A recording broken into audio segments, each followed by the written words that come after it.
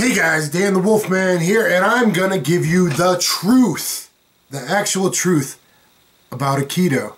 And yeah, I'm in my pajamas because it's midnight, and I didn't plan on doing this video, but I just got spurred on by an excellent video by my friend Aikidoka Lenny Sly of the Rogue Warriors. She just put out an excellent video. I'm actually going to show from clips of that with his permission.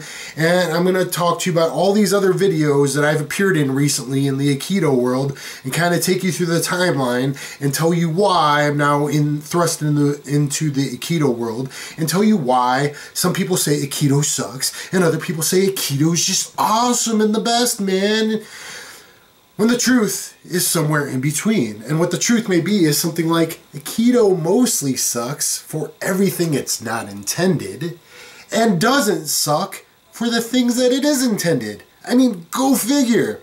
So Aikido doesn't suck at the stuff it's really good at. For cops and security guards and and nurses and people that need to control drunks and mentally disabled people without necessarily hurting them too bad or only giving them one or two atemi strikes instead of beating the hell out of them before they can get control and pin them and arrest them or whatever they need to do. Oh my god, but Aikido, especially the way it's practiced, sucks for full blown engaged MMA fighting. Well, yeah, go figure. Anyone that says that is kind of just repeating something obvious. I don't know why. So guys, um, if you don't aren't familiar with me, I've trained like 33 years in martial arts, all kinds of different martial arts. I have four black belts, uh, coveted black belts. I fought pro in MMA. I've trained with more MMA fighters, sparred them for like 22 years around the world um, than any other because I moved all over the place in Japan and Asia and all kinds of places and um, I bounced off and on for 23 years. So let me start taking you through some of these uh, videos. We're going to get to Lenny's uh, uh, clips in a second. We'll get to that towards the end of the video, guys. Let's look at this video I was recently in called The Top 4 Aikidokas in MMA. This one surprised me. I think at Christmas time or New Year's it hit. I think it was like New Year's Eve this hit, and someone that read it like tagged me in it. One on our list is Daniel the Wolfman Theodore, a stuntman and MMA fighter. While not having a stellar MMA career of three wins and three losses, he is a well-known instructor for many MMA gyms and athletes. Dan mostly combines his Aikido with wrestling, Jiu-Jitsu, and Sambo to create and catch wrestling grappling style that is both effective on the ground and stand-up but he's most famous in the internet, however. And I call my style catch jitsu, by the way, and my other style in the gi karate do jujitsu, by the way. Um, but I thought you guys might like to see that. And uh, yes, I won three early NHB type fights by first round submission, and my losses were three of the top 10 most experienced fighters in the entire world when I fought them or now um, including guys that were heavier than me. I weighed like 197 to 205 without cutting a single pound in my fights. And guys like Jeremy Morrison that I armbarred in a couple minutes, he weighed 211. Jeremy Horn, they said, oh, pros don't need to weigh in. I'm like, I'll fight him anyway. I just want to see him on the scale, thinking maybe he was a blowing up 220. If it got to the second round, I thought he, I know when he tired in the middle of the second rounds, and his previous rings fights fighting, you know, when he was blowing up on, uh, I don't know, whatever, fighting guys like Randy Couture and Nogueira and stuff. He just fought Randy, and he was probably like 220, 222 when he fought Randy. Anyway, I think he was 220 because they got him on the scale like 210.9, and I thought the scale was light. He would have beaten me anyway, It doesn't matter. Uh, that's the tough mentality that people had back in the no holds bar days. Anyway, I kind of thought about making a video anyway, not only because of Lenny Sly's video, but this guy, Hard to Hurt. And this guy, oh, this guy said this about me. What does he say? And uh, considering they're calling me out and using my videos, I think any of these people will let me you use know, a couple clips of their videos. martial artists with some combat sport experience. They brought up Kathy Long, Jay Dudes, Jason DeLucia. Kathy Long, I coached once. Tried to help her uh, get like, fights took what they learned and adapted it into other things. And one that came up was Dan the Wolfman. And yeah, so I like his eyes when he says maybe Aikido works uh, if you're using it on people that you outweigh by 100 pounds in like 30% sparring. What you guys are pointing out is. Well, that's not really fair. And uh, I'm pretty mad at him for that, actually. I kind of replied a half joking one to him, but also one real one to him on his page because number one, the first guy in my first video, and I'll, I'll show you clips of in a second. Um, that's a tissue, guys. I've been sick for 11 days. Um, bronchitis and stuff. So, um, guy in my first video, he was much bigger than me, heavyweight deep fighter. And the other guys were pancrase fighters. These are professional fighters. And this guy, I looked him up, I found out his real name. Looks like he has some decent stand-up, I mean, decent stand-up skills. He's an amateur-level kickboxer, MMA fighter.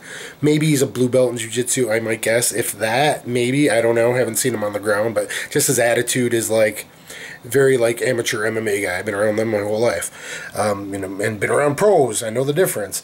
Um, you know, so I've seen seen that. And anyway, that's bleeding by the way from the cold.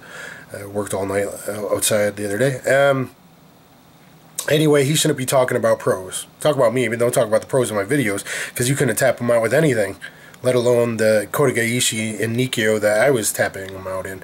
So, uh, what he's referring to is what blew up the internet, guys, was um, my first video I made. And here's this guy. This is my video. Finally, Real Aikido, new Steven Seagal. This guy's a heavyweight deep fighter.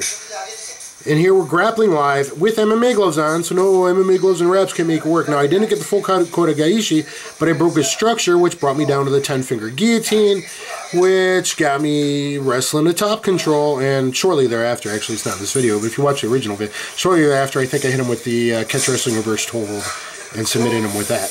These guys, I believe, both fight in pancrase. These are these are long established, very good grapplers, and that's what like an idiot like this sees. Number one, I'm big, but I don't use a lot of muscular contraction when I grapple. Not at all. People think I'm strong. I use good body weight distribution. I'm heavy if they're like 170 and above. I use body weight, but um, I don't use a lot of, of um, power or muscular contraction. So this video I actually made originally because this troll on Sherdog was talking shit, and I hate it when people look down on arts without realizing all arts or all styles or all cultures have something to offer. So I'm showing him Kotegaeshi, and I'm showing, well, if you reach the other way, it's Nikyo. Um, so there was three pro fighters right there. Okay, so no, it's not 100 pounds. Maybe it's 20, 30, 40, whatever. I don't know. I think I was 218 at this time in Japan. I don't know what time in Japan this was. I've been there so many times, like nine times. Um, you know, and lived there kind of basically. So anyway, that was my first video, guys, and that was actually made to combat uh, a simple-minded troll on, on the Sherdog forum back in the day. I'm glad I did it because it blew up and uh, and this kind of put me in this other realm and got me these other followers. Guys, if you like that video, look for the more real new Steven Seagal versus MMA grapplers. This is me using Aikido, Systema, TMA, Kung Fu concepts. Uh, again, my page is catchjitsu.com. And you can go to my website, catchjitsu.com or thecombatsystem.com. And people, uh, people that are not very good in martial arts says, oh, it's just because you're big. Well, sometimes weight has a small thing, but it's really I know how to put my weight even standing up through rooting, through structure, um, higher level concepts. So this is like higher level concept stuff. And there's some people in the comment section that absolutely don't get it, and haters and trolls. Oh, you're just big. But there's also a lot to do with um, just body mechanics and how I move, but uh, sensitivity, concepts of sensitivity, of of um, things like this. And these are things that you get in arts like Aikido or Wing Chun or Jeet Kune Do or Kali that you don't, in, in more like what's labeled TMA styles, even if some of them aren't that old, versus um, the more modern stuff. Now, yes, do I think you should know how to wrestle and do judo and jujitsu and kickbox and boxing? Yes, of course. Of course. I have never said anything different. I have just said, ladies and gentlemen, I enjoy all the flavors of the world, just like I do my women. All right, the world has a lot to offer. Appreciate it. So, guys, look at my videos labeled uh, "Real Aikido," "New Real Steven Seagal," whatever like that. It's kind of a joke. Um, my cousin, uh, actually, I believe he's a very early black belt from Steven in the '80s. I've never met Steven Seagal. I know that my cousin is a uh, um, designated marksman, aka sniper, on two different SWAT teams, and I know sometimes he does teach police arrest control tactics. Like I've done a seminar helping teach uh, monoplata mount and some other things. The crazy Jack in the Box take takedown that people think is fake um, until they actually felt it. Um, some things work, guys. Some things work, and definitely, I think I've proven in real settings of live grappling that things like Kotegaeshi and Nikyo, and occasionally I'll hit a Sankyo, uh, work. And then we'll talk to some uh, Lenny Sly, who's better at Aikido than me. I just got a brown belt and I've dabbled at it three times in my life. Um, but anyway, so it's interesting that I've kind of been put in this world. Oh, here, I'll just show some highlights.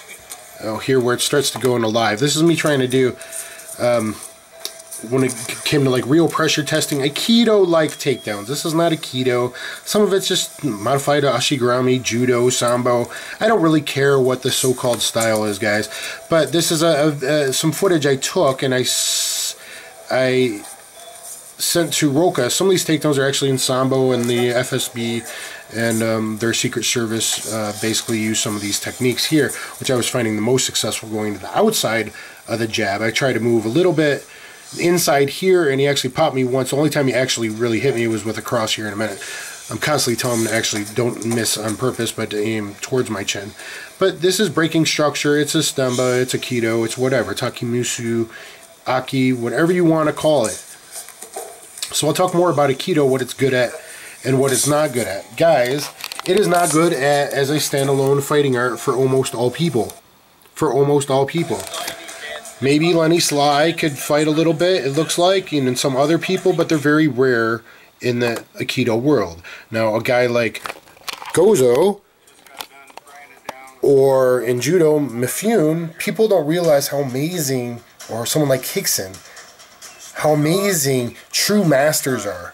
You can tell how low level someone really is, that they're just on the very low end, like I train MMA, bro, or I had a couple fights, bro, um, level, if they can't see a true master, okay? Um, in any style, it shouldn't matter what style, whether it's, I see some Tai Chi, Bagua guys, I see the same thing I see, see Gozo doing in Keto, or Ueshiba, or um, Mifune in Judo, or Rickson in Jiu Jitsu. I see the same thing or even Vasiliev or Ryabko, which other people make fun of, they never felt it. They don't have the experiences that I do. They don't actually try shit. They're just net shit talkers. Um, so anyway, Aikido as a standalone fighting art, is it good? No, they don't pressure test. They have bad training methodology, all this stuff.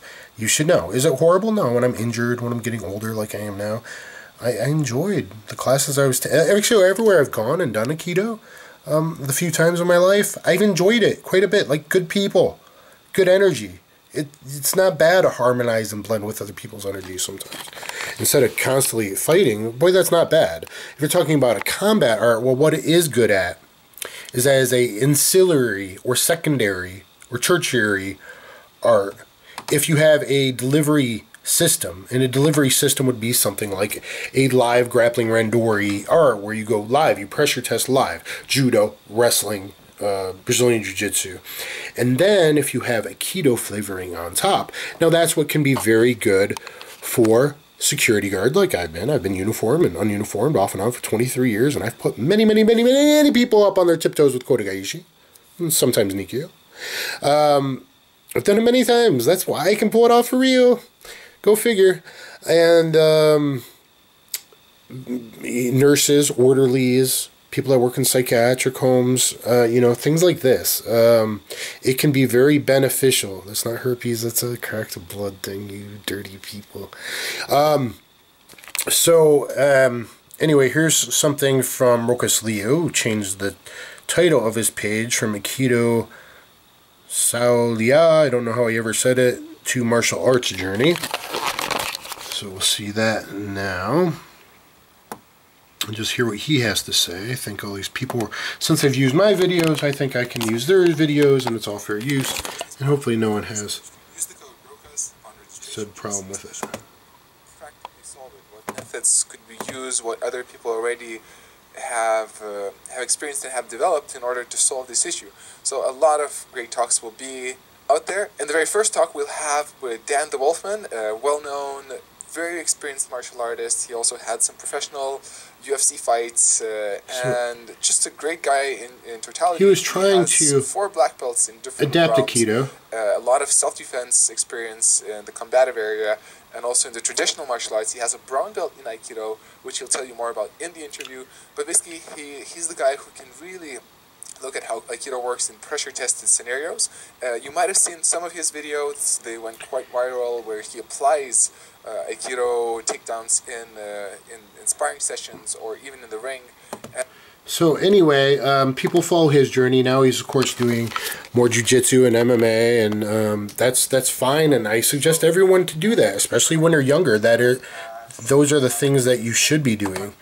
Um, that doesn't mean when they're older per se, or when you have a combat effective base and delivery system, that you can't look into adding in flavoring from these other styles. This is what I've always said, and why I can catch pros with things like calf slicers before they were cool to do, or the crazy locks I do, hammer locks, and whatever all this catch wrestling stuff that's now like part of jujitsu, even though you know it wasn't when I was teaching it 10, 15 years ago.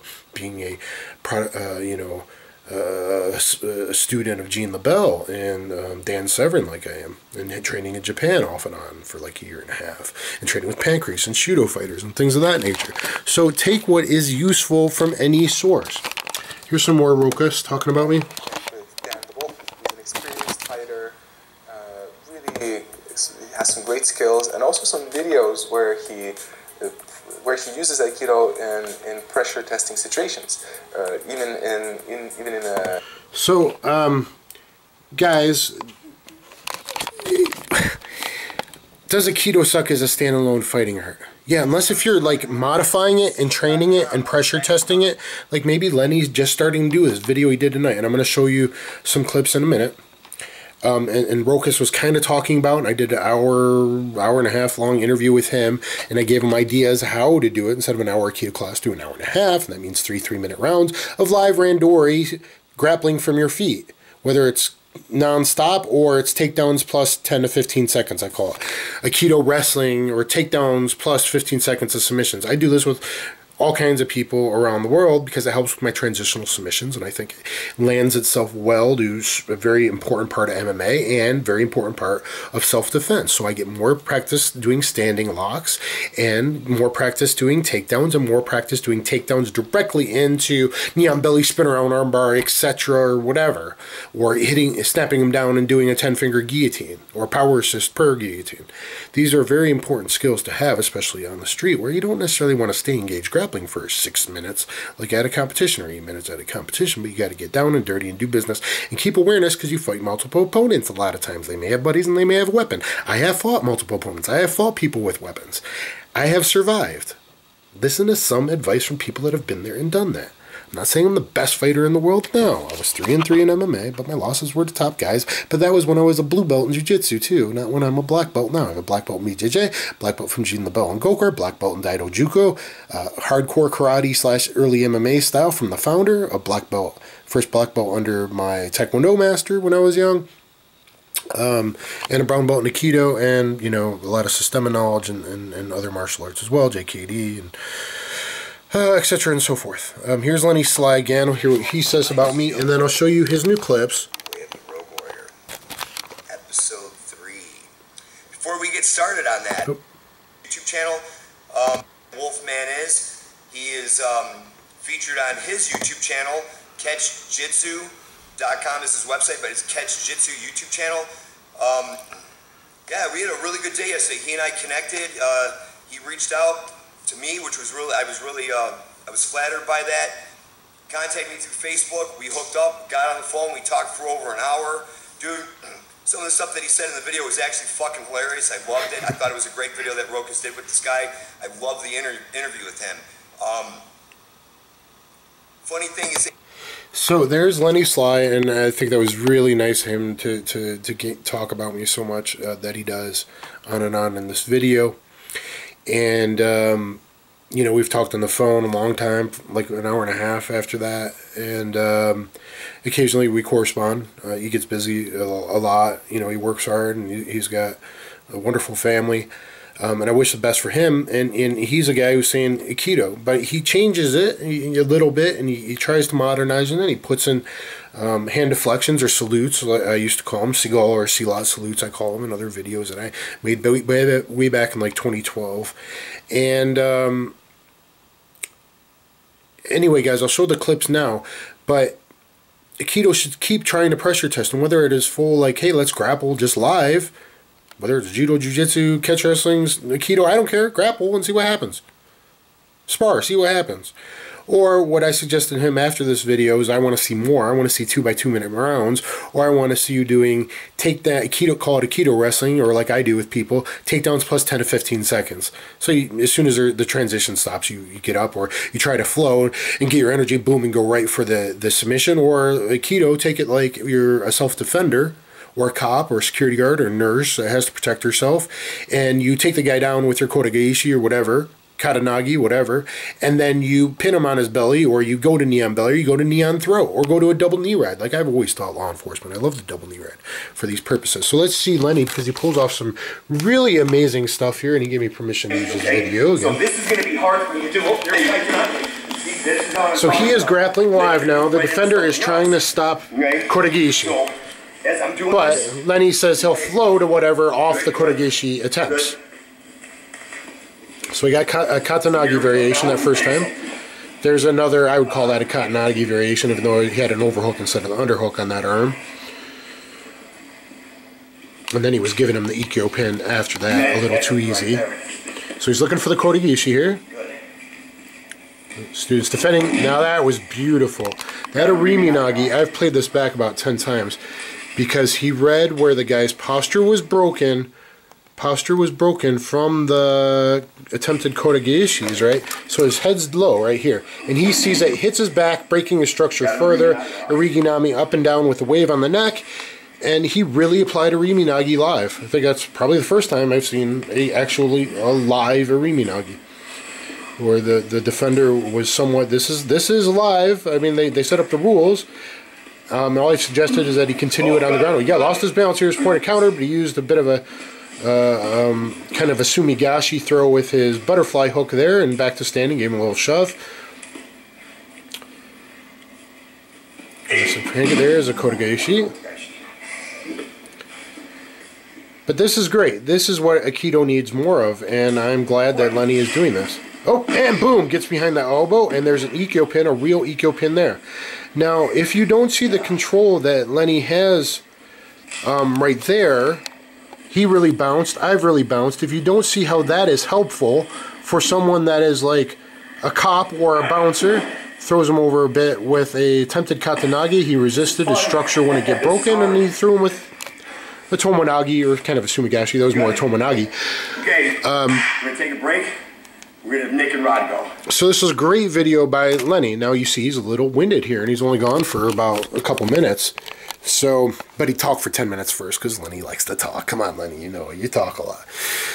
I'm talking a lot. This is a hell of a long video. I'm sorry, guys, if it's boring, but I'm giving you the real breakdown from someone that kind of knows that's been in the TMA world and the Aikido world and have fought MMA and had street fights and been attacked by two guys with sticks and been attacked by 10 guys when I went to rescue MMA author Clyde Gentry who got sucker punched and I put a guy in a rear naked choke and used him as body armor when the other people are trying to punch me and then sucker kick me when I'm down. I've had these situations and other situations and knives and broken bottles and I took a gun away from somebody uh, who was pointing at me while I worked at a gun store a month ago now were they're trying to kill me, but I was talking to someone all of a sudden there was a gun there.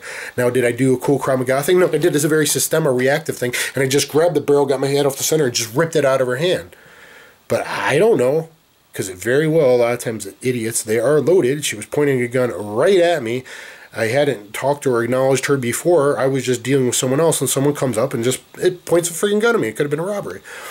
So you know, I've had some other stuff happen uh, overseas as well and stuff. Um, but anyway, I'm glad he's did that. What I suggest to him is we want to see more. Next time, do do a follow up video in a month. Do a follow-up video, do two two-minute rounds or two three-minute rounds, and just talk a little bit in between. I hope he does that. And I said, you know, let's let's let's follow it to the ground a few seconds. So if you can get a knee on belly, if you can get the Ikkyo pin face down, that's obviously the best. That's what cops want. That's what bouncers want. So you can get their hands behind their back. You can't don't let the hand is what kills you. Um, you know, but if you need to go to knee on belly, go to knee on throat, go to knee on face, go to double knee ride, go to the stuff that I preach for law enforcement because he, he has that bouncing background. He'll know how to follow that up. I hope he does that. And then people will call that real pressure testing. This basically was real pressure testing here, but if you do that and do like uh, Aikido rest